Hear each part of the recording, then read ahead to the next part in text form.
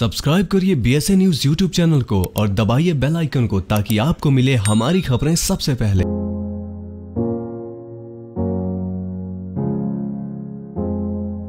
दोस्तों, अगर आप भी ऋतुराज गायकवाड़ को एक बेहतरीन खिलाड़ी मानते हैं तो हमारी इस वीडियो को लाइक ज़रूर कीजिएगा। दोस्तों, चेन्नई सुपर किंग्स और राजस्थान रॉयल्स के बीच खेले गए ज़बरदस्त मुकाबले में चेन्नई सुपर किंग्स के युवा सलामी बल्लेबाज ऋतुराज गायकवाड़ ने इतनी शानदार बल्लेबाजी का प्रदर्शन करके दिखाया, जिसके बाद तो उनकी वाहवाही पूरे क्रिकेट जगत में हो रही है। उन्होंने इस मुकाबले में ताबड़तोड़ बल्लेबाजी करते हुए बेहद ही शानदार शतकी पारी खेली, जिसकी वजह से चेन्नई की टीम राजस्थान के सामने एक पहाड़ समान लक्ष्य रखने में कामयाब रही। तो चलिए दोस्तों, बताते हैं आपको ऋतुराज गायकवाड़ की इस पूरी पारी के बारे में, लेकिन उससे पहले आप सभी को क्या लगता है? ऋतुराज गायकवाड़ और यशस्वी जायसवाल में से कौन बेहतरीन ताबड़तोड़ बल्लेबाज है? नीचे कमेंट सेक्शन में कमेंट करके ज़रूर बताइएगा। दोस्तों, दो अक्टूबर को खेले गए राजस्थान रॉयल्स और चेन्नई सुपर किंग्स के बीच ज़बरदस्त मुकाबले में हमें दोनों ही टीम की ओर से बड़ा ही शानदार बल्लेबाजी का प्रदर्शन देखने को मिला। लेकिन इसके बावजूद भी अगर किसी एक खिलाड़ी ने अपनी ज़बरदस्त बल्लेबाजी से क्रिकेट प्रेमियों का दिल जीता है तो वो है सिर्फ़ ऋतुराज गायकवाड़। जिन्होंने इस मुकाबले में आक्रामक अंदाज से बल्लेबाजी करते हुए विपक्षी टीम के गेंदबाजों की धजिया उड़ाकर रख दी। बता दें, इस मुकाबले में राजस्थान रॉयल्स के कप्तान संजू सैमसंग ने पहले गेंदबाजी करने का फैसला लिया, क्योंकि उनके अनुसार आबू धाबी की ये पिच गेंदबाजों के लिए काफ़ी ज़्यादा अनुकूल थी, लेकिन उनका ये फैसला पूरी तरीके से गलत साबित होता नज़र आया, क्योंकि चेन्नई सुपर किंग्स के बल्लेबाजों ने इस मुकाबले में इतनी शानदार बल्लेबाजी का प्रदर्शन करके दिखाया, जिसे देखकर तो संजू सैमसंग की भी पैरों तले ज़मीन खिसक गई थी। बता दें, चेन्नई सुपर किंग्स की पारी की शुरुआत करते हुए नज़र आए ऋतुराज गायकवाड़, जिन्होंने अपनी और टीम की पारी की शुरुआत की, एक शानदार चौका जड़कर। इतना ही नहीं उन्होंने तो पहले ओवर की आखिरी गेंद पर भी एक ऐसा ज़बरदस्त चौका जड़ा था, ये देखकर तो ये बात साफ़ तौर पर ज़ाहिर हो चुकी थी कि वो इस मुकाबले में पूरी तरीके से आक्रामक अंदाज से बल्लेबाजी करने के इरादे से ही मैदान पर उतरे हैं। जिन्होंने इस मुकाबले में राजस्थान के किसी भी गेंदबाज को बख्शने की सोची भी नहीं, चाहे गेंदबाज युवा हो या फिर अनुभवी, हर एक गेंदबाज की उन्होंने जमकर और बराबर पिटाई लगाई। बता दें, पारी के शुरुआत में ऋतुराज गायकवाड़ थोड़ी धीमी गति से अपनी पारी को आगे बढ़ा रहे थे। वो लगातार अंतराल में गेंद को सीमा रेखा के पार पहुँचाने में सफलता हासिल प्राप्त कर रहे थे और उन्होंने तिरालीस गेंदों में अपना अर्धशतक पूरा किया और उसके बाद उनके लिए बल्लेबाजी करना इतना ज़्यादा आसान हो गया कि उन्होंने सभी गेंदबाजों की जमकर क्लास लगाई और इसके बाद उन्होंने अपने बल्लेबाजी की रफ्तार में तेज़ी बढ़ाई और राजस्थान के गेंदबाजों पर कड़ा प्रहार करना शुरू कर दिया था। दोस्तों, ऋतुराज की बल्लेबाजी का तूफ़ान तो हमें तब देखने को मिला जब उन्होंने सोलहवें ओवर में युवा गेंदबाज आकाश सिंह को आड़े हाथों लेना शुरू कर दिया। उन्होंने इस ओवर में तीसरी गेंद पर एक ज़बरदस्त चौका जड़कर उनकी आँखों में आँखें डालकर उन्हें ये बताया कि वो उनसे उलझने की कोशिश ना करें और सिर्फ़ अपनी गेंदबाजी पर ध्यान दें। वहीं वो ठीक है। अगली गेंद पर ऋतुराज गायकवाड़ ने एक और शानदार चौका जड़कर सभी राजस्थान के प्रशंसकों की बोलती बंद कर दी थी। और इस ओवर की आखिरी गेंद पर एक गगनचुंबी छक्का जड़कर उन्होंने राजस्थान के खेमे में सन्नाटा फैला दिया था। और उनकी तूफानी बल्लेबाजी को देखकर तो राजस्थान के हर एक खिलाड़ी के पैरों तले ज़मीन खिसक चुकी थी। दोस्तों, देखते ही देखते ऋतुराज गायकवाड़ शानदार बल्लेबाजी करते हुए छियासी रनों तक पहुँच गए थे, जब उन्होंने चेतन साकरिया के एक गेंद पर अपना क्लास दिखाते हुए एक शानदार शॉट जड़ा। वहीं इसके बाद अठारहवें ओवर की पहली गेंद पर 103 मीटर का लंबा छक्का लगाकर राजस्थान के गेंदबाजों की धजिया उड़ाकर रख दी और बीसवें ओवर के आखिरी गेंद पर 108 मीटर का गगनचुंबी छक्का लगाकर गेंद को तारामंडल पर पहुँचाने के बाद उन्होंने इस मुकाबले में एक बेहद ही शानदार शतक अपने नाम किया। बता दें, ऋतुराज गायकवाड़ ने शुरुआती तिरालीस गेंदों में अर्ध शतक पूरा किया था और उसके बाद अगली सत्रह गेंदों में वो शतक तक पहुँच गए थे। गायकवाड़ की तेज तर्रार पारी के बदौलत ही चेन्नई सुपर किंग्स की टीम, जो लगभग 150 रन से लेकर 160 रन तक